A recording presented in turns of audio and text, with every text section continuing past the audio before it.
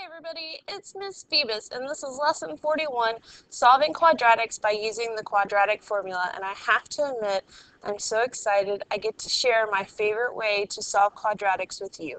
And the reason why I love this way is because number one, I get to sing to you, and number two, it always works. Always, always works. I call the quadratic formula the sledgehammer. You want to find roots, you want to break up that quadratic to figure out where it's crossing the x-axis. Quadratic formula works every single time. My favorite. But there are other ways. So we don't just go straight for the easy answer. We have to learn all the different ways because sometimes quadratic formula might be a little bit overkill, especially if you could look at a graph or, or factor pretty quickly. So what we're going to do is I'm going to introduce you to the quadratic formula. There is a song that goes along with it, so I'm so sorry, but my job is to get this into your head. I'll explain why in a moment. And um, we are going to have some quadratics that are going to be easily factored. And I just want to show you that yes, going through this process may be a, bit, a little bit longer than factoring, but I want to almost like prove to you that it will work. We should get the same answers. Okay, now um, we will be talking about this a little bit more in the next video. Um, we will go into a little bit more detail with what to do when we have negative numbers under our square roots, what that means. But like I said, this works every single time. It ties a lot of the like simplifying square roots together. Um, it ties some of that together as well as you know making sure we know our order of operations, can use our graphing calculator a little bit. So um, just keep all of that stuff in mind. It's going to seem a little daunting at first. It'll get easier, I promise. All right, so our skill for today is I can define, identify the zeros of a quadratic equation by using the quadratic formula. Now, in our standards, we are actually supposed to derive the quadratic from completing the square.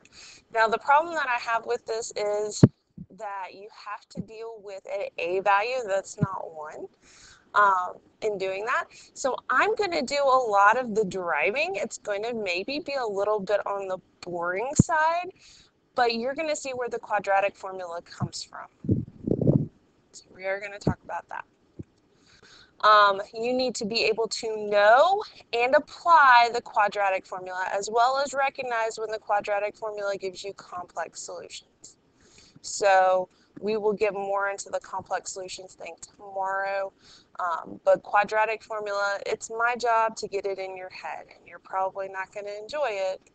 But guess what? That's part of it. You either love this or you hate this. There's no in between. All right, now, before we start the deriving piece, there are a few other videos that are on this page that I do want you to watch. Um, I'm going to be showing them in class, so for the full quadratic formula experience, please watch those other videos. Um, one of them is a little girl singing it, and basically, if she can sing the quadratic formula, you can sing the quadratic formula. And then um, there is another version of the quadratic formula that uh, a class made for a class project, and it's to the, a different tune, so you don't have to do the quadratic formula to the tune that I sing it to, but um, it, there are other versions out there. All right, so we're going to derive the quadratic formula. This is actually a big task, and we're going to talk about how it was derived a little bit. So we start off with ax squared plus bx plus c equals 0. That is the standard form of the quadratic. And we have to solve this for x.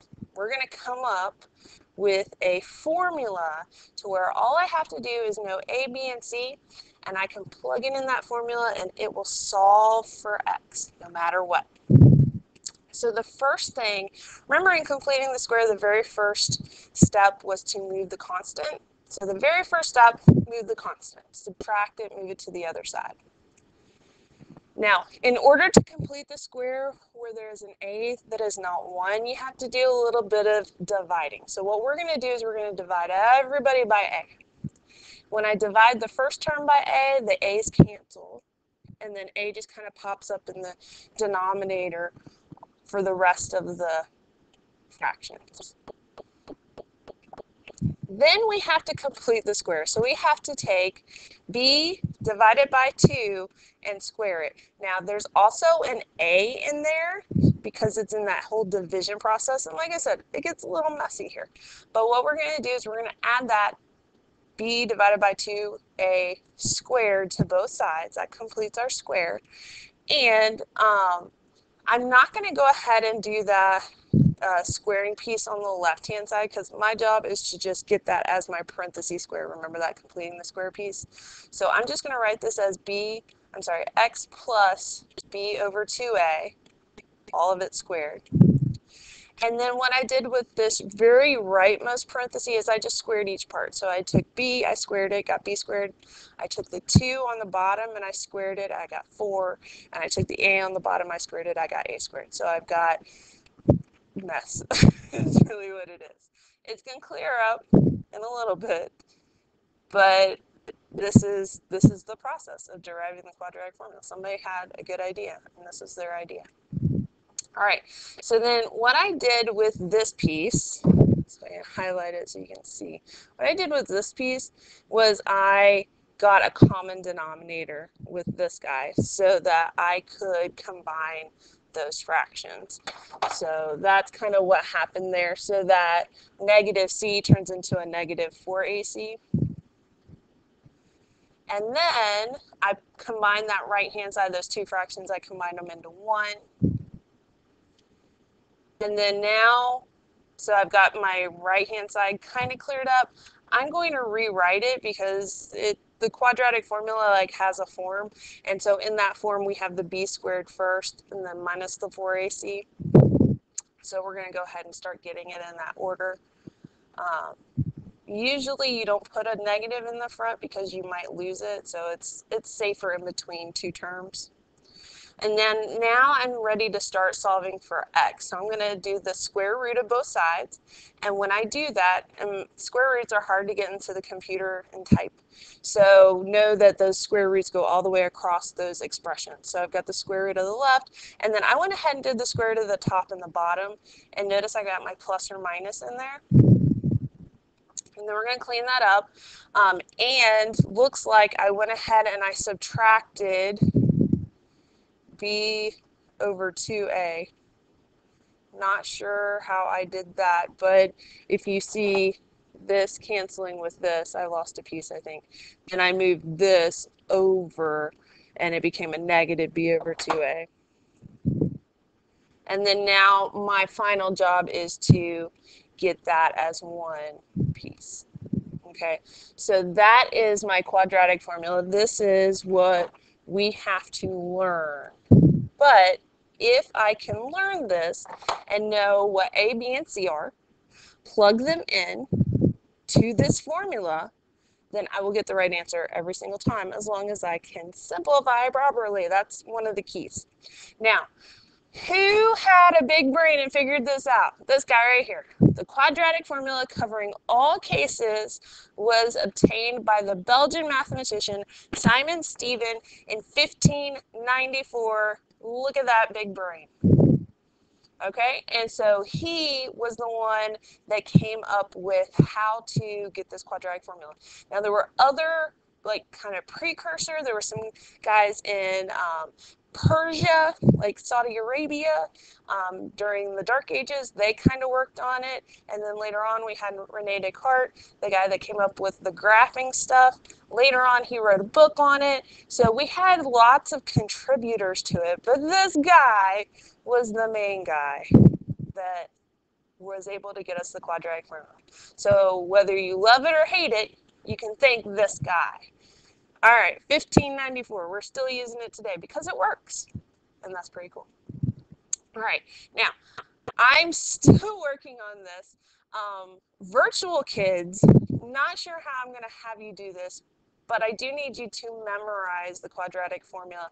I usually have people say it to a teacher, a family member, an additional person of their choice, and then turn it in.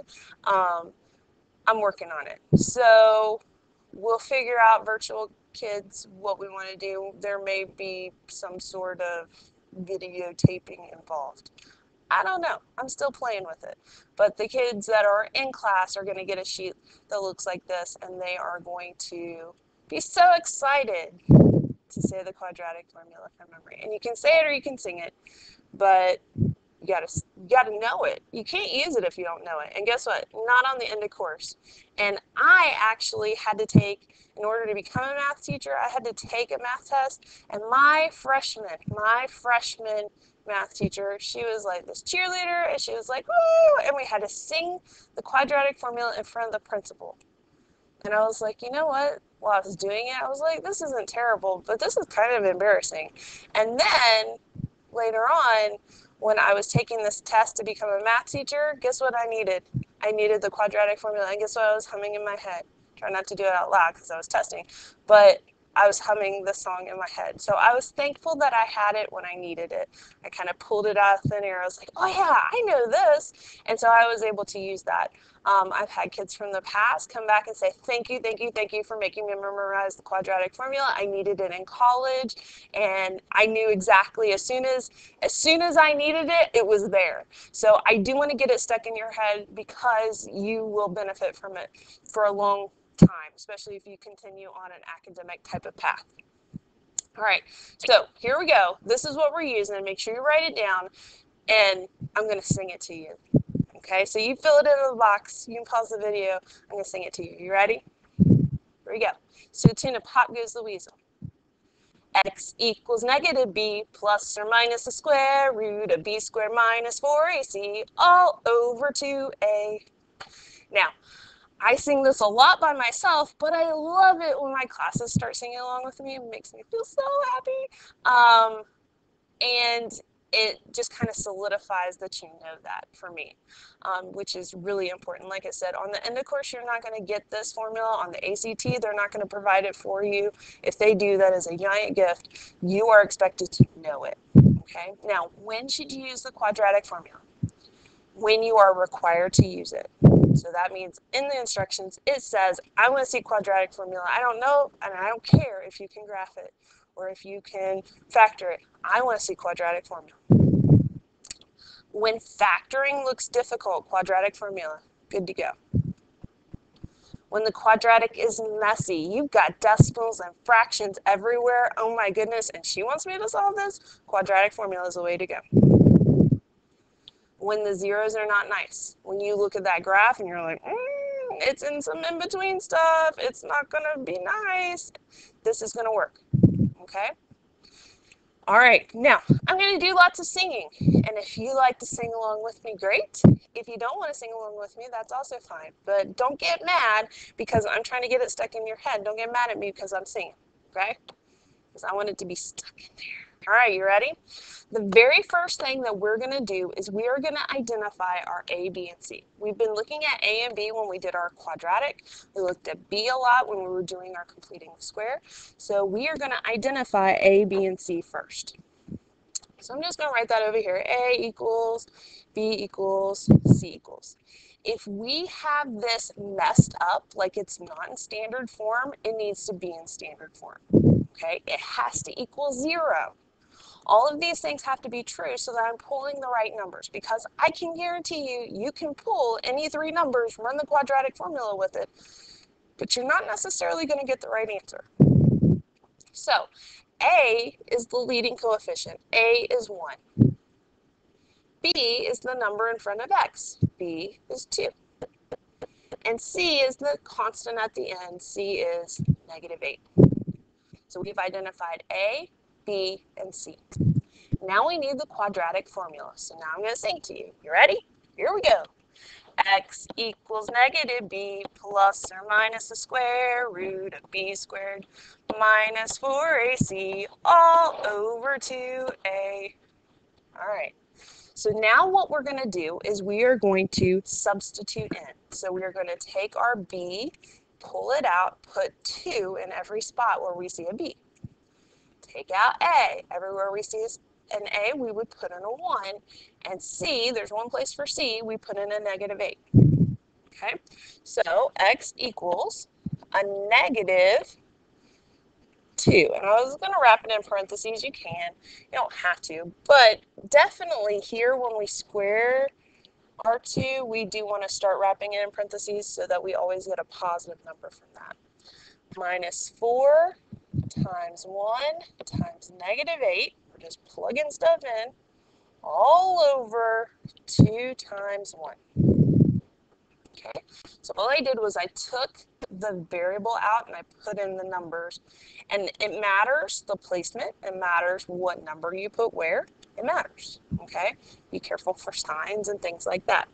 Now, I love you guys, but you and every other teenager I've run into have trouble with order of operations. So if that's you and you're having trouble with order of operations and you keep getting this wrong, I am recommending to shove all of this, not the square root, but the stuff under the square root, that radicand, put all of it in the graphing calculator, parentheses and everything.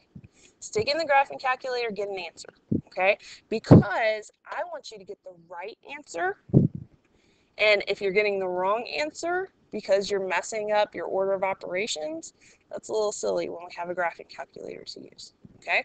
So be breaking out that calculator and using it. So this is a negative 2 plus or minus the square root of 2 squared minus 4 times 1 times negative 8 ends up being 36. All over 2 times 1 is 2. Now, we're going to pull out some of the stuff that we learned last week, like breaking down square roots. Tell me about the square root of 36. The plus or minus is already in there, so you don't have to worry about the plus or minus right now, but don't lose it. So this is negative 2 plus or minus 6 all over 2. And this is really two problems.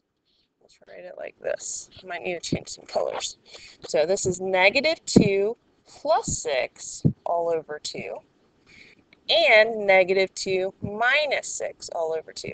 Now we want to do the addition subtraction first, and then we'll do the division. So tell me about negative 2 plus 6. 4. 4 divided by 2, 2. And then negative 2 minus 6 is negative 8. Negative 8 divided by 2 is negative 4. So we have two zeros there. Now, this is one that is factorable. So let's look at how we can factor this. Can you find two numbers that multiply to give you negative 8? Those same two numbers have to add to give you 2. Well, it's going to be 4 and negative 2. And then when I put them in their parentheses, and I set it equal to 0, if x plus 4 equals 0, what does x equal? Negative 4. If x minus 2 equals 0, what does x equal? x equals 2, which are the numbers that I just found. Okay, so yes, sometimes factoring is easier. But I really want to show you that the quadratic formula is going to work no matter what. You could have factored or you could have run the quadratic formula. Now, there are times, remember, unfactorable. There are times things are unfactorable but the quadratic formula will work every single time. So you cannot say unfactorable at all, at all. If I say solve this quadratic and you go to try to factor it and it doesn't factor, you can't say unfactorable and move on. You have a method that will always work from now on and you you need to use it. You need to know that this is the go-to granddaddy method of them all that will always work, that sledgehammer that will break this up into your two roots every single time. Okay, so let's go through it again. It is a process, but a lot of it is just knowing the formula. That's the biggie because all we did was we traded stuff out, we simplified, and we got some answers. So knowing the formula is the key. So let's look at number two. A equals 1, B equals 4, C equals negative 21. All right, so here we go. x equals negative b plus or minus the square root of b squared minus 4ac all over 2a. So we're going to plug this in. So b is 4, but this is going to be a negative b, so it's a negative 4. Plus or minus the square root of 4 squared minus 4 times 1 times negative 21 all over 2 times 1. So remember, we're starting off easy. Yeah, A is 1. That's kind of not interesting. It'll be okay. I'm working on, in my calculator, what's 4 squared minus 4 times 1 times negative 21. And you want to just put it all in there. Don't try to break it up or do anything special with it. Just shove it all in the calculator. All right, so I've got negative 4 plus or minus the square root of 100 all over 2. Okay, so square root of 100 plus or minus 10, but we already have our plus or minus in there, all over 2. And then now I can add negative 4 and 10 together. So I want to start putting those together as negative 4 plus 10 divided by 2 and negative 4 minus 10 divided by 2. So tell me about negative 4 plus 10. 6. 6 divided by 2 is 3. Negative 4 minus 10 is negative 14 divided by 2, negative 7. Now, if you want to check, you can go back and pick one of your numbers. Negative 7 squared plus 4 times negative 7 minus 21. You hit the enter key on the keyboard, you better get 0. If you don't get 0, we did something wrong. So you can check yourself. And you can even check yourself with the um, irrational roots, the ones that have like the square root of 3 in them and stuff like that. You can do that too. All right, so here we go. Number three, we're looking at A, B, and C. So A equals 3, B equals 6, C equals 3. So here we go. You ready? I'm going to sing to you x equals negative b plus or minus the square root of b squared minus 4ac all over 2a. All right, we're going to plug it in. You ready? So negative b is going to be a negative 6 plus or minus the square root of 6 squared minus 4 times 3 times 3 all over 2 times 3. Okay, so then now we need to figure out what's under the square root. So we need 6 squared minus 4 times 3 times 3. What do we get? 0. Negative 6 plus or minus the square root of 0 all over 6. Now what's the square root of 0? Square root of 0 is 0, so negative 6 plus or minus 0 over 6. And adding or subtracting 0 isn't going to do anything to that negative 6. So we're really looking at negative 6 over 6, and negative 6 divided by 6 is negative 1. So I have one solution. And what that means is, on my graph, I should have a graph that looks like this, where it's just touching the x-axis at negative 1, and it's not crossing and, and getting two answers, it's two of the answers that are the same. So it looks like I have only one answer. All right, so that's what you do if you end up with the square root of 0. It just kind of goes away and you don't need to worry about the plus or minus. All right, let's look at number 4. Now, 1, 2, and 3 equal 0. Do you see how number 4 does not equal 0? We need it to equal 0 because if I just do A, B, and C and don't change the sign on that 2, I am going to get an answer. But I can guarantee you that that actually I'm going to get answers, and those answers are probably going to be wrong. So I want to make sure that I get the right thing. So it has to equal 0. Has to, has to, has to. I will have people that run the quadratic formula with the wrong numbers and get the wrong answers, and they're like, I don't understand why. And I'm like, you didn't make it equal zero. Make it equal zero. And you do that for factoring too. Um, all right, so let's see. Our A value is 1. Our B value is 4. Our C value is negative 2. I have a song to sing for you. Are you ready?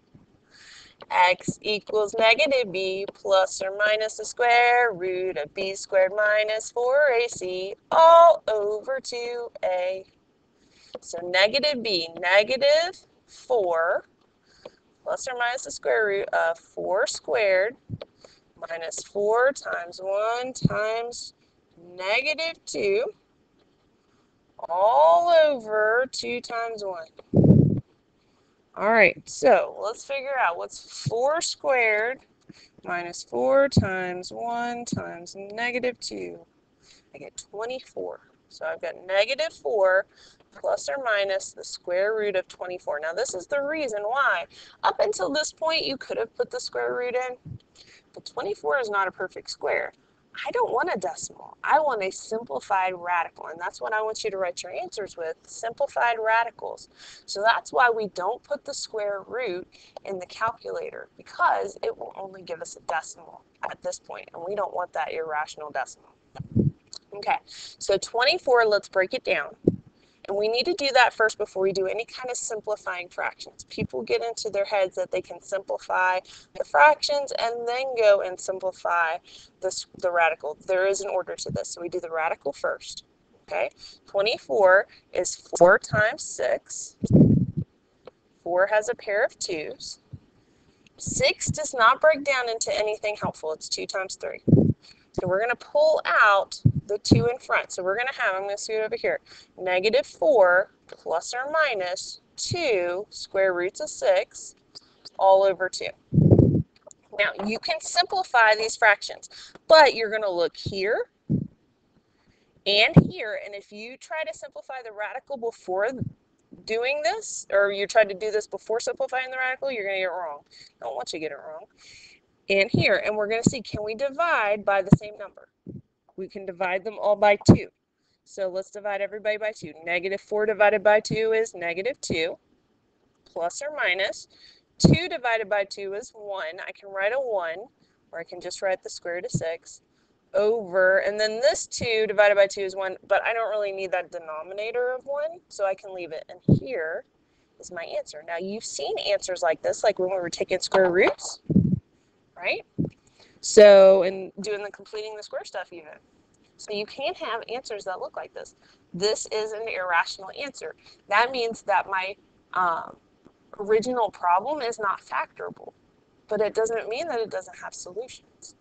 Okay, so it has solutions. I could do completing the square on this one, but this is my favorite method, my go-to method, and that's what I want to share with you today. So we're going to keep on keeping on. You ready? We have to make it equal 0. Now, do you see how this is a negative 3x? I have to be careful when I add 3x. I need to make sure it's in the middle here when I add 3x because I want to get my A, B, and C right. If they're out of order and I pull those numbers out of order, my answer is going to be wrong. So A is 2, B is 3, C is 10. I had this in mind when I was teaching about standard form back in unit 4. I needed you to be able to write things in standard form because it's important. Because now order matters in the numbers that we're pulling. Hey, I've got a song I need to sing for you. You ready? Are you singing with me yet? Or are you just like, she's singing? x equals negative b plus or minus the square root of b squared minus 4ac all over 2a. Okay, so we're going to plug it in. So negative 3 plus or minus the square root of 3 squared minus 4 times 2 times 10 all over 2 times 2. All right, let's work on what's underneath the radical. So we've got 3 squared minus 4 times 2 times 10, and I get negative 71. Oh, that's interesting. All over 4. There's a small issue, right? We're not allowed to have a negative number underneath the radical. So that means that this is no real solution. That means if I graph this in my graphing calculator, let's do that. Let's graph this in the graphing calculator. It should not cross the x-axis. 2x squared plus 3x plus 10. And this is what I do sometimes if I don't believe, if I'm like, hmm, I don't feel really good about this, I should be able to graph it and not get it to cross the x-axis. So if I want to double check and make sure that no real solution is correct, then I should be able to graph it and not see any x-intercepts. And guess what? There aren't any x-intercepts. So no real solution is the right answer. Now, I do want to see the work. I want to see what makes you say no real solution. So I do want to see all the way down till you get to that negative square root, and then you can write no real solution. Okay? None of this just finding the zeros. There is work behind this. Lots of work, lots of things to show me. Don't just get the answers. I want to see the process. But you can use the graphing calculator in this form to check. All right, so let's look at number six. Why don't you try to do number six? See what you can do. See if you can remember the quadratic formula on your own. Test yourself. Pause the video now. All right, one of the first things that we have to do is we have to move this negative, move this 12x, make it negative 12x, and have negative 3x squared minus 12x plus 14 equals 0. That's the first move. Then we're going to do A, B, and C. And so A is negative 3, B is negative 12, and C is 14. So I want you to go look at your answers. And if you pulled the wrong numbers, I need you to go back and rework this problem. Okay, the number piece, what you pulled for A and B and C is important because they have a cer certain specific place to go. And if you said A was negative 3 and B was 14 and C was negative 12, we're going to get a different answer. So we need to get the same answer. All right, so here we go. x equals negative b plus or minus the square root of b squared minus 4ac all over 2a. So now we have a negative negative 12, which is a positive 12 plus or minus the square root the parentheses are really important here when we go to square this. So make sure you have them. If you don't, you're going to get the wrong answer from the calculator. 4AC. And we're just going to shove it in a calculator and get an answer all over 2 times negative 3. All right, so, lost my calculator. So we've got negative 12 squared minus 4 times negative 3 times 14. And that is 312. So 12 plus or minus the square root of 312 all over negative 6. Now 312 is divisible by 6. It's 6 and 52. 52 is divisible by 2. It's 2 and 26. 6 is 3 and 2. I've got a pair of 2's. 26 is 2 and 13. That's not going to be helpful. So I can go back to 26. So 26 and 3 have to stay underneath the radical. So I'm going to come over like down here in this corner. So I'm going to have 12 plus or minus. I'm pulling out a pair of 2's. And then I'm going to multiply that 23 or sorry, 26 and 3 here. I'm going to multiply those. They have to be underneath the radical. So 26 times 3 is 78 all over negative 6. Now, we are going to look at simplifying, but remember the radical is protected, so we're not looking at that. We're looking here and here and here. And when we are doing this, we are going to divide by a number, and most of the time we want to, see how that denominator is negative?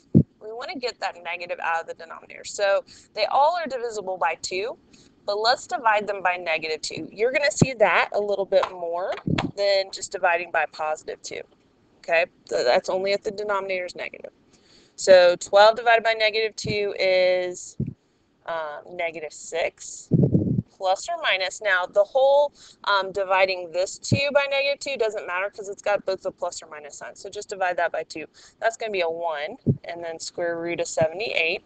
Run it into my work. All over. Now, negative 6 divided by negative 2 is 3. And that is going to be a good way to write that.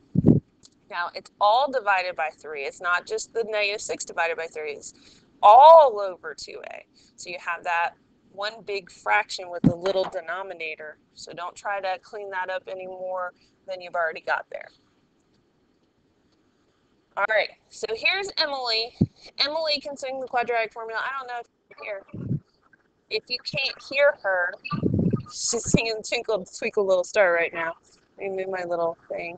But if Emily can sing this, you can too. And if you can't hear this video, you need to go watch the other video.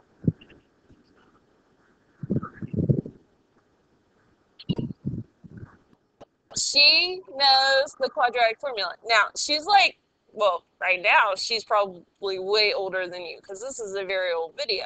But she's like two, maybe three in this video. Does she understand what the quadratic formula does? No. She knows it, okay? She can sing the song. Now, if a two or three year old can sing the song, you can sing the song, or at the very least, say the the words that go along with it. You don't have to be able to sing it. We're not all, you know, vocal magicians, but you should be able to at least know it and say it. Get it memorized. All right, there is another video. It's called Quadratic Formula, the musical. It is a little on the long side, but it is to the tune of um, Adele's Rolling in the Deep. So there is that as well. Let me share with you some wonderful math memes. This guy is really committed to the quadratic formula. He got it tattooed on his arm. He also likes Batman, obviously. Um, and then you see all kinds of shirts that's some kind of elvish. I can't read, but you know what it means. Now, I want you to learn the quadratic formula, and I want you to learn the quadratic formula. Uncle Sam and I both want you to learn the quadratic formula. Why would you graffiti the quadratic formula? Some thugs just want to watch the world learn. It's the evilest thing I can imagine. I don't know if you guys watch the Powerpuff Girls, but they're from the Powerpuff Girls. All right, um, remembers lyrics to favorite song, but can't remember the quadratic formula. Don't let your brain do that. Get it in there somehow. This is my favorite. I love this. I love Sheldon too. What do baby parabolas drink? Quadratic formula! I love the quadratic formula. All right, so quadratic formula, need to learn the song. Need to, need to, need to. Okay? You need to be able to pull it out of your head when it comes to be test time. Now, I know that you take your test open note, okay? But guess what? The end of course is not open note. So guess what? Every time I have the chance to sing the quadratic formula and annoy you, I'm going to take that opportunity. So every homework problem that I have to work in Google Meets or in class, I'm going to sing the quadratic formula to you. Anytime it pops up, like tomorrow, we're going to sing the quadratic formula. So go ahead and embrace it. It's the quadratic formula. All right, so I will see you guys in the next video. I'm so happy to share this with you. It's one of my favorite lessons. All right, bye guys.